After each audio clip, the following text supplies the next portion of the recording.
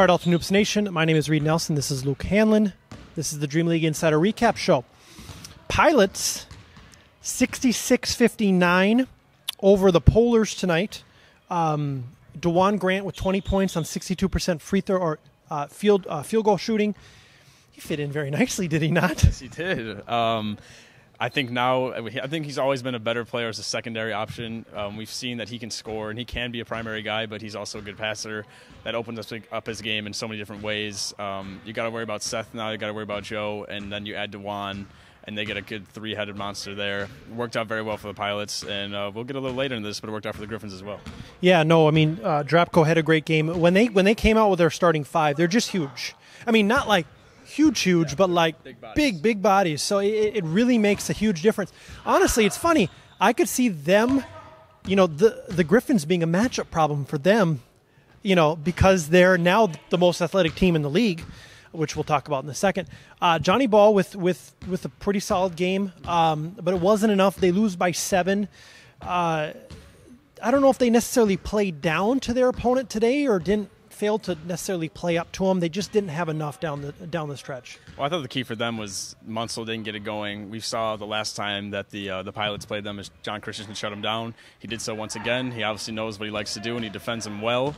Um, if Munsell doesn't get at least you know 15 to 20 points, they struggle. Ball couldn't you know put on 30 or so, so they just could didn't get enough scoring for them to win. Okay, Griffins with their first win of the season, they win by three over the Generals. Generals show up with only five missing Brandon Williams, Brandon Johnson, Miles Webb. Uh, Griffin up with all eight, including, uh, you know, Greg Wells and Andrew Wrobleski. Um, a couple of things to note: Griffins go get on a 7-0 run. Uh, G- Generals come storming back 14-7. Um, you you just mentioned this was one of the strangest games we've had so far this season. Why do you say that? Well, like you said, it started with a seven nothing lead for the Griffins, and then the Generals just came out of nowhere, and it seemed like for three, four, five minutes they did not miss a shot. Christian Brunt was draining threes. Ben Yelke made a three. James Carr made a three. It was just back to back to back to back. It was crazy that way. And then all of a sudden the Griffins got a little bit of momentum back somehow, and they, you know, after halftime or so, I don't remember exactly what the halftime score was, but it seemed to be a close game with 10 minutes left in the second half out of nowhere, Miles Webb shows up at halftime, and the Generals seem to play worse with him. Their number one overall, the number one overall pick in this league. And then late on, it goes back and forth, back and forth. And the Griffins go to a smaller lineup, and it works very well for them. I mean, they had Arthur Frazier and Wrobleski on the bench for like five minutes near crunch like time. ten minutes. Yeah, it's like well, I, I couldn't understand why those two were in the game, but it, it was working for them. And overall, the Griffins win. It, was a game that you at first thought you were they were going to win easily, and then you thought they were going to get killed. I mean, I, I don't know how to explain it. I asked them if they had followed out. They're like, "Hey, these guys are these guys are on a streak." So, it, it listen, it worked out for them. Christian Brunt in the, the, towards the end of the first half was four of five from the field. He ends up or from the three point line. He ends up five of ten. At one point, the Generals were six of seven from the three point line. Ross Winnekins did not have a good game, and he just you can just see it on his face. Very, very, very frustrated. He's not getting any calls. He did draw a charge at the end of the game, which was a very, very, very big call, but we are now looking at a team of I mean, Andrew Wrobleski had an opportunity to shine tonight. A guy uh, who I never seen play this well. Yeah. And I, again, I don't know if it's him just coming off the trade or him just having the opportunity. But you know, it'll, it'll be interesting to see how Ross fits into this team moving forward. Um, this this team is not a half court set team. This is going to be a run and gun up and down the court. Um, do the do the Griffins try to trade Ross Winnekins? He has value. He's he, he's one of the two biggest guys in this league. Uh, well, I'm I'm not going to try to predict what Casey's going to do because we've tried in the past and it just never seems to work out. I don't know what he's going to be thinking. Um, it, for me, it would seem, yeah, trade him. I don't know who you would go out and trade, who wants him. That's a different question, and we'll probably get into that in the podcast. But to me, he doesn't really seem to fit with this team now. They played better without him. Granted, he did have the tip in late that got them the win. I'll give him credit for that. Um, made the big play when he needed to. But besides that, he seemed lost in the court. Didn't put in a lot of effort defensively, offensively during the zone. Didn't fit in well with that. And they, I mean, it showed when he wasn't on the floor. They were a more energetic team. Uh, better offensively, better defensively. I mean, DeAndre Agee had to guard like Bronson Byrne, and it was working. I, I don't know how, but it worked, and I give all the credit for the Griffins for this win. They have a trouble with boxing out though, which, which they have to figure out soon. I mean, it's like when the ball goes up and they just look at it. So, congratulations, Griffins! First win of the season. Nice work. Um, uh, again, la- late Miles Webb puts up a three, falls falls short. Good defense on the play that would have tied the game for the Generals. Um, at the end of this broadcast, we're actually going to show the last minute or two of this game, along with the last game of the night, uh, the Mustangs versus.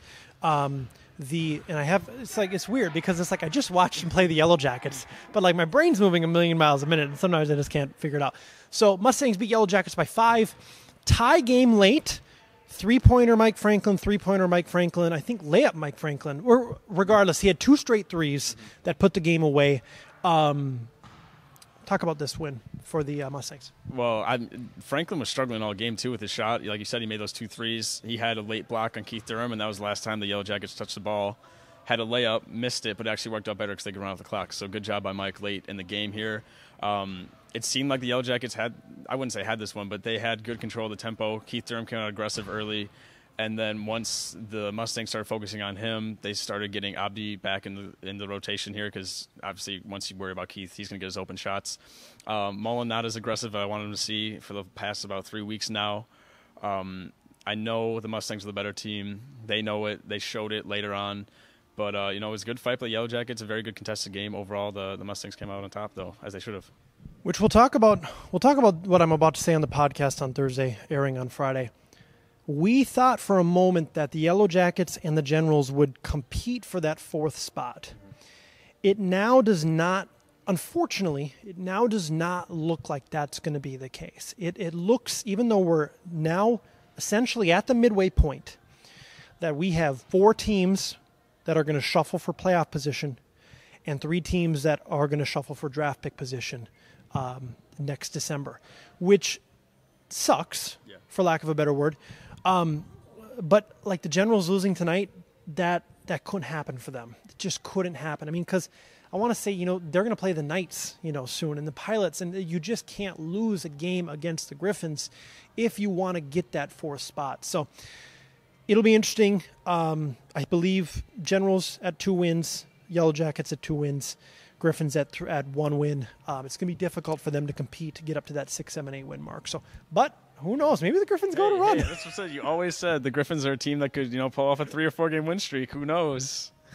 All the momentum's on their side now. We will see. So another great night. Um, thank you for joining us. We're going to replay uh, the tail end of two of our games because they were two of our better games of the season. Uh, you can stick around and watch that now. We will uh, chat with you Friday on the uh, Dream League Insider podcast.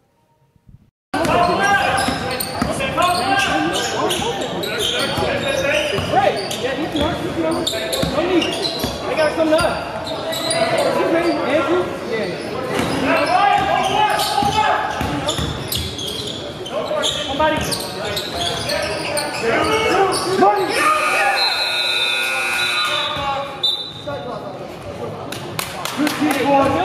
Hey, you gotta go. looking to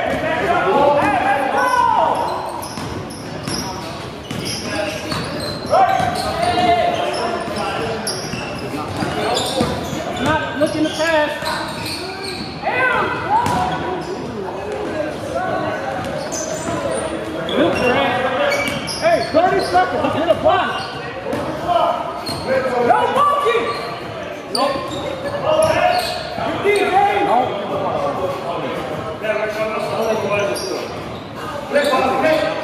Get out. Not out. There's one left.